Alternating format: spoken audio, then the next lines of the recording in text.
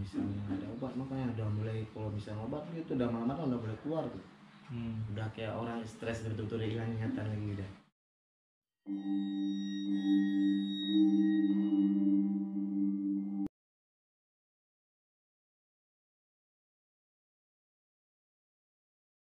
Waktu mama masih aku masih kecil ceritanya. Nah, kecil. Pisah lah orang tua. Ayah dan mama pisah pas lahir saya kan tiba-tiba entah nah mama eh, nikah sama ayah tiri saya. Nah, entah kenapa mama bisa pisah lagi. Kitanya gitulah. Eh, masalahnya waktu saya kecil nggak tahu lah masih masih masih buyar lah pikiran masih kecilnya kan. Masih masih belum Masih polos, ingat, belum ah, belum tahu ingat apa nggak ingat. Ya gitu gitu aja lah setahu saya. Hmm. ada ya, bapak tiri. Hmm. Udah lah- ada ada adik saya ceritanya pas adik baru lahir itu pisah lah ayah tiri mama saya kan? Nah di situlah kejadian mama udah mulai hilang pikiran ingatannya. Sampai sekarang entah ke mana-mana berobat. Nah, nggak ada reaksi. Paling sembuh sama dokter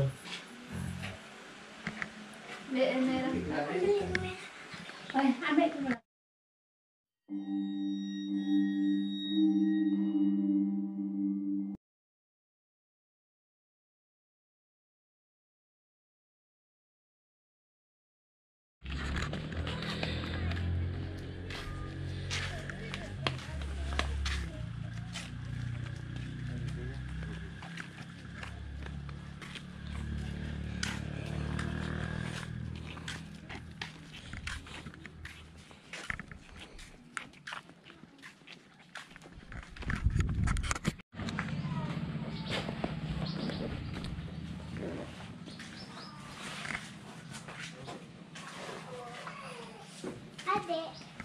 Ayo adik dah bangun. dulu dulu bang Lalu di duduk langsung masuk dulu Assalamualaikum. Bang salam salam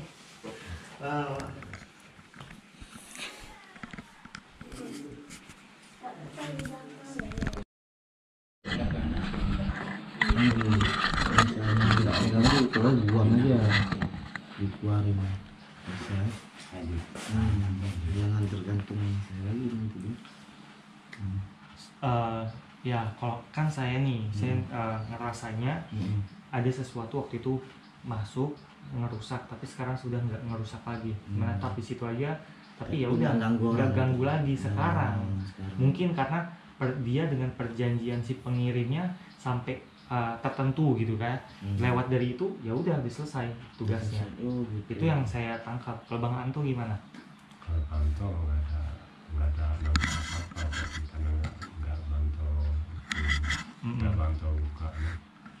jadi nggak tahu Nggak tahu. nggak nggak bantu nangkep Yang dirasain apa walaupun dia sekilas-sekilas gitu. terus ya kayak bang kalau dibilang tadi kayak seperti perjanjian lama tapi ya nggak nggak nggak brutal lagi dia Nggak brutal lagi. Sama berarti kurang lebih gitu.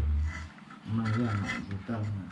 cuma nanti kalau misalnya dia mama udah hilang obat dokter bisa ada dua bulan tiga bulan kita nggak itu udah mulai marah-marah apa kita bilang udah marah-marah kadang-kadang istriku suruh ini ah melawan itu Hmm, itu- akibat nggak ada terus nggak karena udah ah, terbiasa pas nggak ada obat da- dari dokter itu ya. Eh aduh pengen ngomong gak enak. Iya. jadi gini eh, s- eh, sekarang sarafnya udah rusak gitu Hmm, kan hmm. harusnya cobalah di diobatin ke yang bener-bener ngobatin saraf. Jangan ngasih yang Obat- obat obat obat terus. obat, Iya, obat- itu obat sa- terus. itu saran dari saya bisa juga itu kan obatnya kan yang terus menerus diminum itu menjadi zat racun. Udah. oh udah udah udah.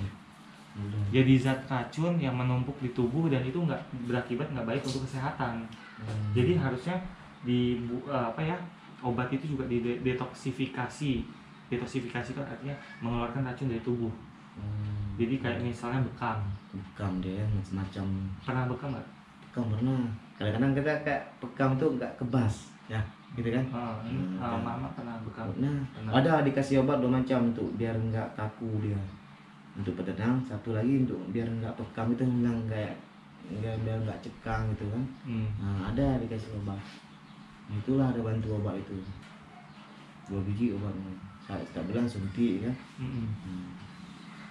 tak bilang gitu kalau misalnya ada obat makanya udah mulai kalau misalnya obat itu udah malam-malam udah mulai keluar tuh Hmm. udah kayak orang stres betul-betul hilang ingatan lagi udah. Ah itulah. Keluar malam-malam tuh. Keluar sendiri sendiri. tahu jalan. Ah entah kok pergi dia? Entah ke mana mati baik lagi. Entah apa-apa dibawa pulang ke rumah. Bawa pulang apa? Entah apa-apa sampah-sampah entah. Nah, gitu. Apa yang dia nemu di jalan? ah, apa nemu di jalan dibawa pulang. Terus ditaruh aja di Ah, obat apa? kadang-kadang entah entah apa-apa. Kadang-kadang baju sendiri dibakar dibuang pokoknya Nah, itu kerjanya. pokoknya dia ngeliat apa pengen apa tiba dia spontannya ngelakuin. Ah ngelakuin gitu. Nah, pada obat dah normal mah kita ya normal biasa kan? Nah itu ada obat Mam. mak ada mak? Ini ya eh, mungkin saran saran saya nih hmm. itu eh, kalau bisa mama jangan terlalu jangan suka minum obat lagi. Kalau bisa usahakan Jangan. ya gitu ya. Jadi itu saraf-saraf mending dibawa ke pijat spesialis saraf ke akupuntur pokoknya yang ada hubungan dengan saraf. Jangan dikasih obat lah. Dikasih obat ke ketergantungan nanti tapi itu yang isi dan tubuh mama tuh nggak ganggu lagi kalau yang saya lihat kayak gitu. Nggak dibilang nggak dulu dulu merusak tapi sekarang udah enggak menetap tapi tapi nggak merusak gitu. Jadi mungkin mungkin waktu itu ada perjanjian dengan si dukun ini di, sampai batas waktu bisa berapa tahun gitu. Oh gitu habis itu ya udah udah selesai. Dia ya udah menetap aja tapi nggak merusak kalau bisa kita buang nggak bisa ya? Kita ya tarik kita paksa untuk apa ya kalau yang saya tangkap ini Terus. kesehatan mama nanti makin drop. Drop. ya dia juga butuh butuh energi untuk melawan eh, tubuhnya melawan Oh, si makhluk dia- itu. Contoh tadi Itulah tadi. Mm-mm, tadi kan bang ini ya bang Mu- apa? Apa ya bang Aja sampai keringet keluar capek ya, keringetan luar biasa ya. Ini kan Iya. anak muda. Muda, beda sama Mana, tua, ya. iya. Wah, nanti iya iya. eh, bukan nggak mau mandi kan nanti pertama udah tua gitu waktu dia ngelawan dia habis energinya. Mm-mm, betul. Nanti drop itu kalau nggak nggak mengganggu Iya. ya apa salahnya lah. Buntur gitu ya. Coba Coba bawa gitu ya. Kalau bisa jangan lah bawa terus ya. Hmm. Dilatih dia agak dikurangi kalau mungkin harus itu kan agak dikurangi biasanya berapa minggu sekali minimal agak jauhan dikit lah. Tapi kalau bisa ya sama gimana caranya Ya. pelan sampai ya oke lah kata bang Anto seperti itu. Di jaraknya dikurang eh, dikurangin. Tapi secara signifikan gitu. Jadi dikuranginnya ya kalau bisa gimana caranya secepatnya dia stop ya. Stop ya. Nanti kemudian pelan-pelan eh, eh, diajak olahraga kayak gitu. Ya. Apa ya yang bikin fresh pikiran. Pikiran Eh. diajak jalan-jalan senang-senang ajak nonton komedi atau apa lah gitu ya. Liburan jadi pelan-pelan dia relax kayak gitu. Ya Kalau bisa buat bicara sendiri tuh Kalau kita nggak ada kita lihat tuh ngomong sendiri kan Kalau siapa ngomong kita gitu kalau saya nanya ma sama Aji itu dulu cantik orangnya. Cantik. Suka eh, apa ya, jadi banyak incaran laki gitu. Benar nggak? Tuh betul. Waktu saya masih kecil-kecil saya ingat-ingat Ada yang orang dan datang ke rumah gitu. Hmm. Ah, masih saya masih ingat-ingat lah kan? Ah, masih kecil umur se mana dulu? Entah dua tahun tiga tahun empat tahun STK pun masih TK nggak salah tuh. TK aku masih. Nah kayak gitulah. Jadi eh, saya nangkap sesuatu pokoknya sesuatu di balik itu tapi ya udah saya simpan dalam hati. Bang Anto mungkin sama ini pikirannya bang Anto dengan saya cuma nggak nggak nggak ber- nggak mengutarakan gitu. Pokoknya intinya kita ngomong. Iya gitu. kita nggak berani ngomong karena ya penting lah ya gitu. Kalau yang saya dibuang gimana? Yang itu nggak bisa. Bisa sih mau mau sekarang atau kapan? Kita buang aja sini karena utang. Brutal jadi pasti saya nyerang pasti pasti nyerang. Nyerang. Kita bangkitkan aja langsung nyerang. Kalau minimal ada luasan dikit lah Nah, yang bersih aja lah jangan ada lagi Kalau- memang itu ya. Hmm, buat apa kita pelihara gitu nggak usah buang. Gimana tekad tekad buang saya? Memang betul tekad buang.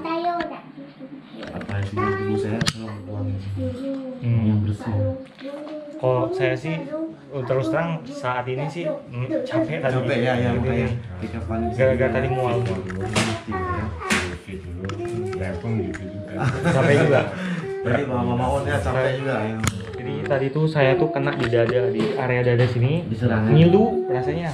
Ngilu sini. karena tadi di depan Karena tadi di depan. Kalau Bang Anto rasanya gimana? saya bahu Bahu. Bahu berat panas ya. Berat panas. Fitri ya, kapan lah siap lah mau bisa bapak kalau bisa ya. Belum pulang kan nah bisa saya sharing lagi ya.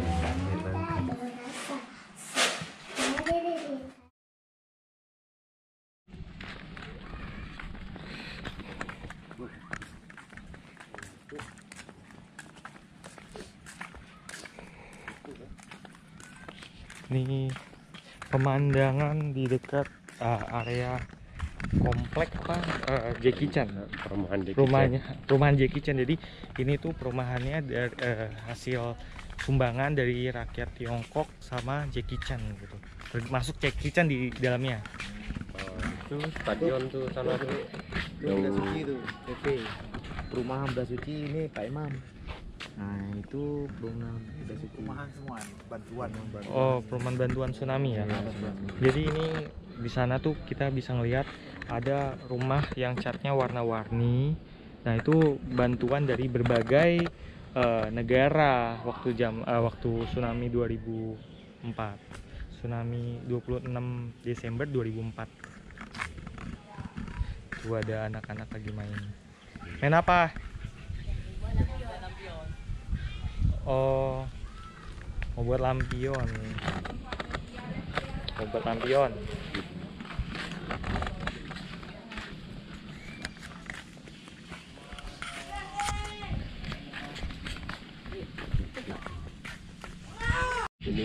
Ada yang lagi main game nih rame-rame. Oma. Sibuk semua ya Sini sini sini. sibuk semua main apa main apa FF. Free Fire Ini bang.